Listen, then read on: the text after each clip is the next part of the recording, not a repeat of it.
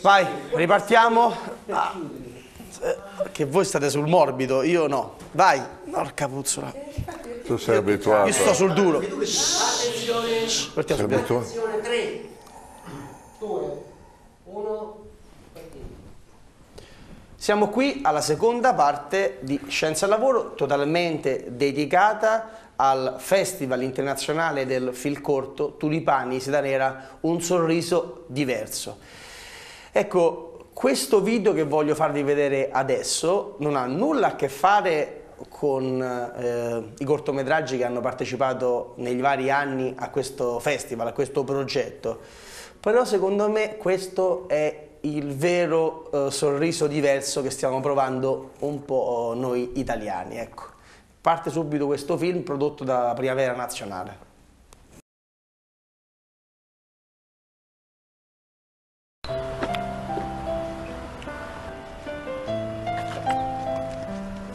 Scusa, posso? Prego, prego. Ma fa bene. Andre, Che sta a fa qua? ma che sto a fare? Come stai? Tutto un po' sporco. Bene. Che sto a fare? Sto a lavorare. Come sta a lavorare? Eh, Scusa, là- non è il ristorante tu? Eh, tu. ce l'avevo. E mo?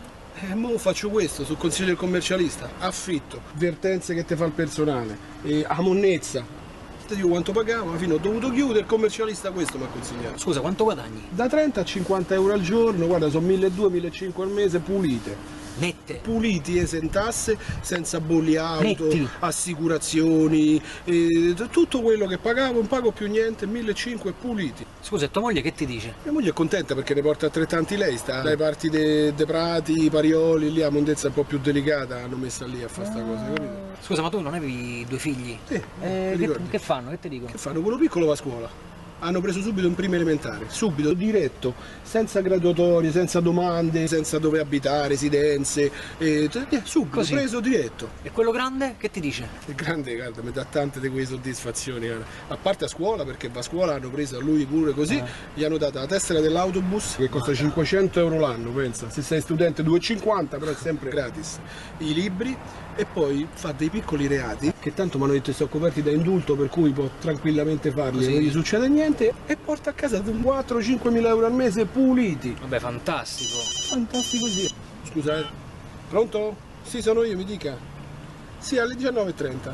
Perfetto, confermo, grazie. Arrivederci. Mi vado a fan tatuaggio. E so, così sono più credibile, mi faccio una bella.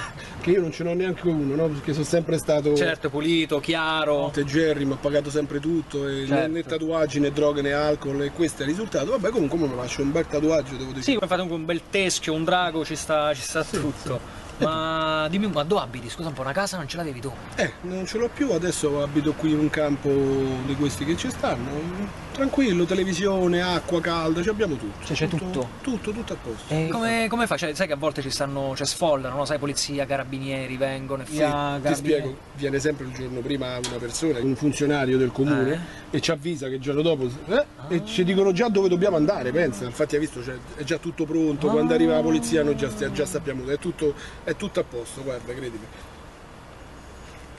Pensa che mi hanno detto che se mi comporto un po' male, Eh? non cose eclatanti, un po' male, forse mi danno anche la casa popolare. Ma che sta a dire? Eh, No, vabbè, sono contentissimo. ti saluto Andrea, No, scusa fatto, che ti do... fatto piacere, Fabrizio. Ciao, eh. Oh, Saluta alla prossima, Fabrizio. Ciao, se no arriva l'altro e mi trova. eh, Ok. Ci accavagliamo, capito? Ciao, Fabrizio. Andrea,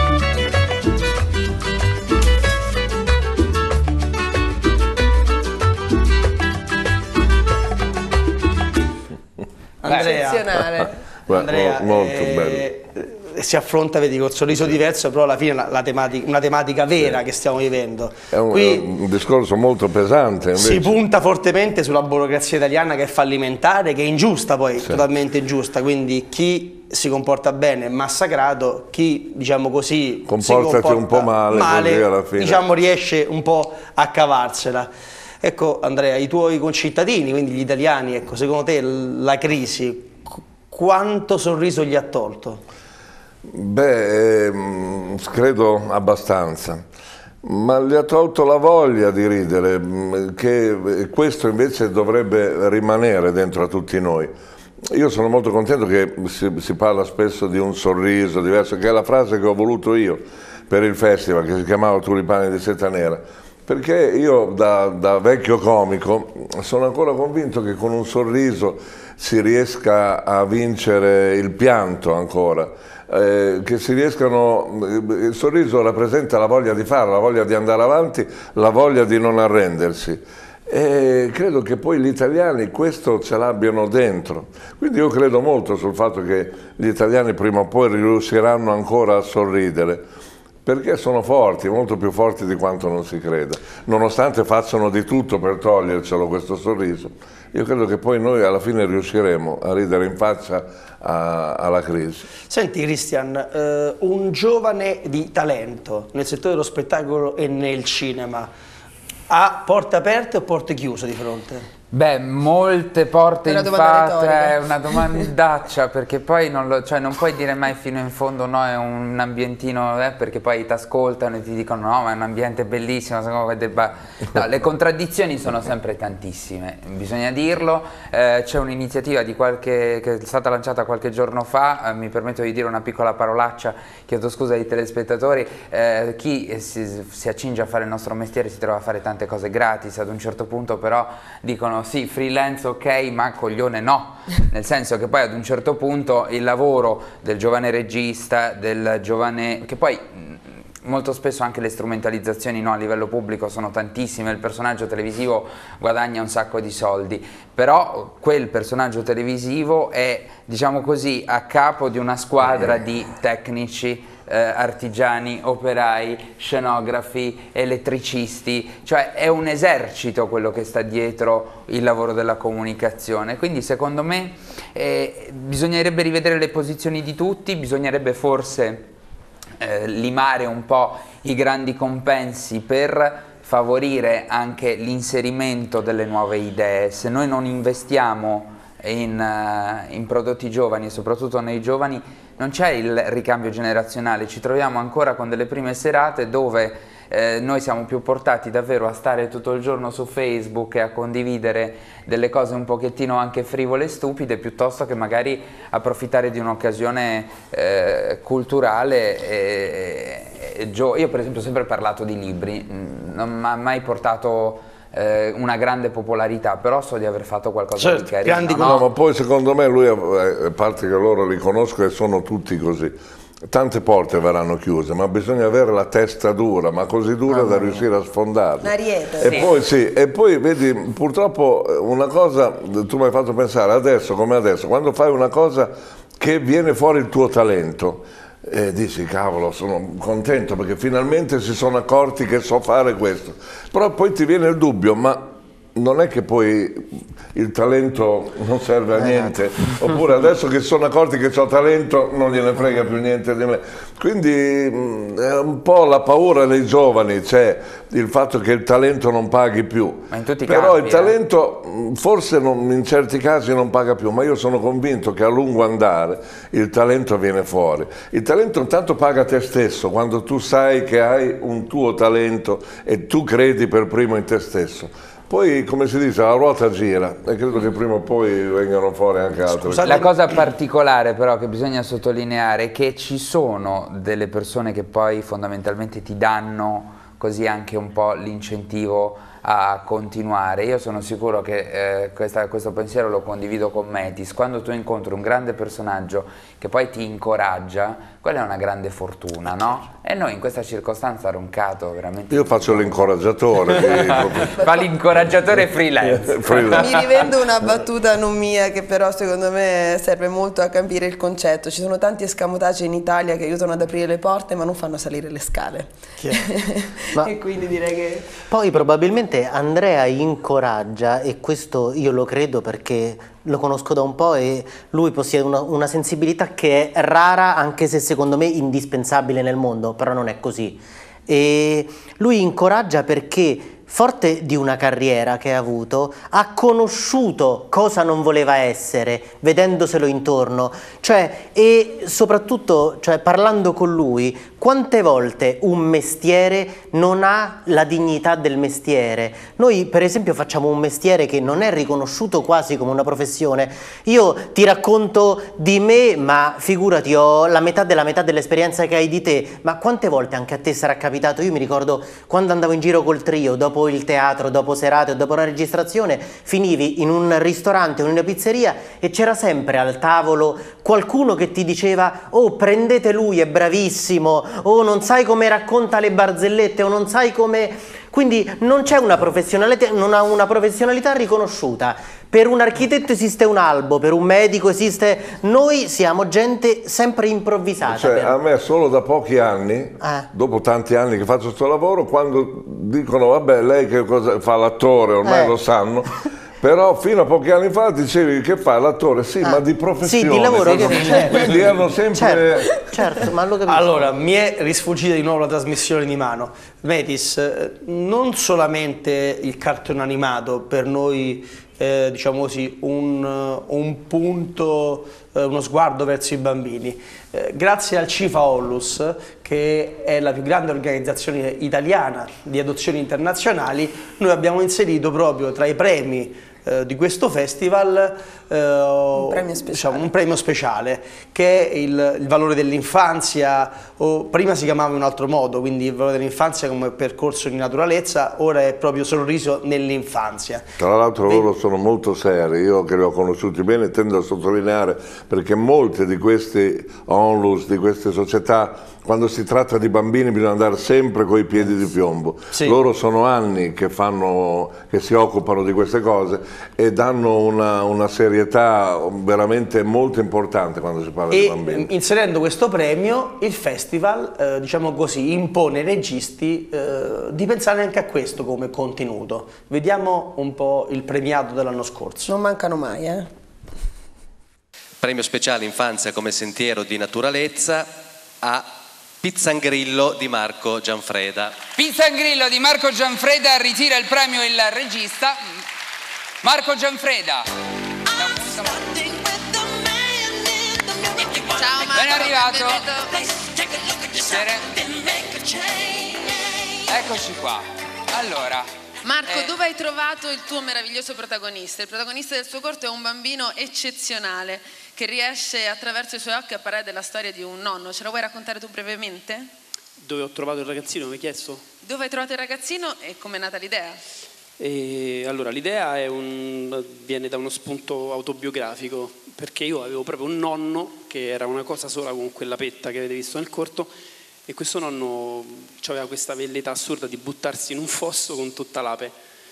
Se non che, mm, niente, quindi io proprio lo vedevo da ragazzino che partiva con mia nonna attaccata dietro che cercava di fermarlo ed era una scena bizzarra però drammatica nello stesso tempo. Poi mio nonno non si è mai buttato, però si è cappottato decine di volte con l'ape, è rimasto in mezzo agli incendi due o tre volte perché aveva un orticello, dava fuoco alle, alle foglie, rimaneva avvampato in mezzo e cascato da un campanile da giovane, quindi era un personaggio un po' così. Quindi questo è lo spunto della storia. Poi chiaramente... E Pizzangrillo sembra sei tu. Superman però per come lo racconti. Sì, era tutto storto perché a furia dei- di, di- di cadere, di spezzarsi, eccetera. Questo è lo spunto della storia, quindi io insomma, eh, ho, ho colto questa occasione per chiedere a mio nonno quella cosa che non gli ho chiesto quando avevo dieci anni, ovvero dove vai con l'ape oggi? Cioè, lui andato, chiaramente non gliel'ho chiesto e poi la storia nel finale invece ha un finale ovviamente lieve e ecco questo è lo spunto. Bene, complimenti no, consegniamo te, il premio. Complimenti Ci fa a te, veramente al ragazzo protagonista che è stato meraviglioso nella sua La interpretazione. motivazione? Eccola qui. Consegniamo il sul premio. La motivazione. I fiori non per lui ma per E i Liliana. fiori sono per Liliana. Grazie davvero per essere stati con noi, grazie davvero. Complimenti. Grazie. Grazie. Metis, eh, è facile o difficile produrre dei contenuti che ci sappiano spiegare realmente chi sono i nostri bambini? Beh, lo trovo difficilissimo, ci vuole tantissima attenzione. Io collaboro con non so, Moige, Telefono Azzurro e vi assicuro che su ogni parola ci sono riflessioni e riflessioni, su ogni veramente scelta di un verbo, anche tempo verbale, veramente ci facciamo dei giusti problemi a riguardo. Uh, Pizzangrillo mi piacque molto perché, a parte l'autobiografia che ha, ci ha colpito e che non, non sapevo fosse, insomma, così, che i riferimenti fossero così autobiografici, uh, lui secondo me ha dato un forte messaggio perché eh, non soltanto è riuscito ovviamente a parlare di, di un'infanzia particolare, quella della periferia di Roma, ma è riuscito a parlare della forza che ha un bambino nell'attraversare e nel rompere una barriera e tirar fuori molto spesso come capita un genitore, un nonno da uno stato avanzato di depressione, quindi eh, l'intuito che riescono ad avere i bambini nel capire un problema e nel risolverlo in un battibaleno, perché molte volte un bambino con un sorriso, con, con una mano riesce a tirarti fuori da problemi che a noi adulti sembrano immensi, insuperabili e loro riescono a risolverli così, quindi sì, grandissima attenzione, devo dirti quello che stavo per dire prima del servizio, che grazie a Dio non sono mai mancati nel festival corti dedicati, a prescindere dal fatto che comunque molti registi fanno dei corti appositamente per il Festival Turipani di Seta Nera, lo sottolineiamo perché ormai sarà l'importanza del festival o comunque successo, ma creano dei prodotti appositamente dedicati al festival ci sono sempre un buon numero di, di corti dedicati all'infanzia che sono sempre di livello particolarmente alto e ci lasciano in dubbio sulla scelta della selezione del vincitore. E poi la cosa particolare è che il regista di Pizzangrillo, uh, Gianfreda, uh, oltre ad essere un bravo regista emergente, adesso vedi le diversità, come ciascuno grazie alle nuove tecnologie o anche grazie ai nuovi spazi televisivi riesce a mettere in campo eh, tutti i suoi talenti, è uno dei protagonisti di Masterchef quindi ha messo da parte ah, sì? il sì? suo, ha messo da parte il suo, eh, diciamo così, la sua attitudine da regista per dire adesso cerco di fare il regista in cucina e quindi ah. ha, ha, affrontato questa nuova esperienza. Quindi insomma, il, poi, il festival, poi, il festival, porta molto buono, eh? porta, sì. sì. perché lei l'anno scorso è stata cattiva. Con, Mi stava riprendendo durante... Sì, questo è vero, abbiamo Però, visto molti protagonisti e soprattutto premiati, quindi devo dire la verità che eh, è vero che dici che il festival porta bene, ma è anche vero che la giuria, ecco, la prima la selezione porta artistica bene. che guida il presidente Roncato insieme al coordinamento artistico, poi la giuria quando sceglie sceglie bene perché in realtà chi viene premiato poi fa una carriera, quindi sì. vuol dire che in realtà c'è, capacità. bene anche perché alla fine quelli che arrivano nella rosa finale sono veramente tutti mh, belli, quindi c'è il premiato, quello che arriva primo, secondo, ma gli altri sappiano che comunque hanno fatto degli ottimi progetti. Il merito è anche di sì. Cinema, che noi dobbiamo ringraziare, che è il partner media di questo festival ormai da quattro anni, eh, il vicepresidente di giuria Carlo Brancaleoni che affianca Sara Iannone, che è poi il presidente di giuria, in realtà aggiunge quel tocco di assoluta selezione di professionalità. Carlo Brancaleoni è quello che decide eh, per Rai Cinema quali prodotti sono validi per produrre e quindi per essere finanziati dal sistema Cinema Rai e di conseguenza selezionare allo stesso tempo eh, dei cortometraggi per assegnargli dei premi, ecco, le forche caudine, quindi il, i metodi di selezione sono proprio gli stessi. Un altro partner fondamentale, istituzionale e anche tecnico del festival è l'INAIL, l'Istituto Nazionale proprio per la sicurezza sul lavoro, eh, per quanto riguarda l'INEA, che è parte istituzionale, che quindi segue, che anche, que anche questo ha ispirato sempre un premio, cioè quello della, del valore del lavoro, il valore della sicurezza sul lavoro, e poi la Travis Group, anche questo uno sponsor del festival, che è il più grande istituto di vigilanza che è presente sul territorio italiano, che si occupa realmente della sicurezza delle cose e delle persone.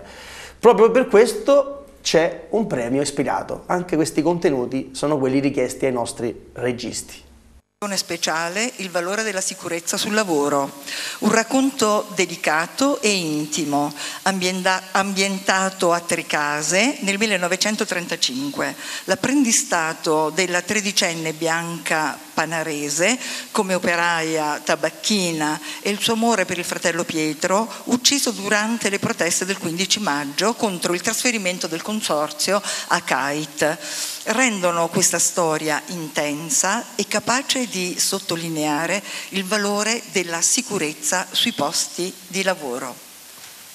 Premio sezione speciale valore della sicurezza sul lavoro al documentario Oro Verde di Pierluigi Ferrandini. Oro Verde, Oro Verde di Pierluigi, di Pierluigi Ferrandini. Ferrandini. E soprattutto la sicurezza è un altro elemento importante perché la signora Sordi e qui in rappresentanza dell'azienda di famiglia la sicurezza di questa serata è garantita proprio dagli uomini del Travis Group che ringraziamo.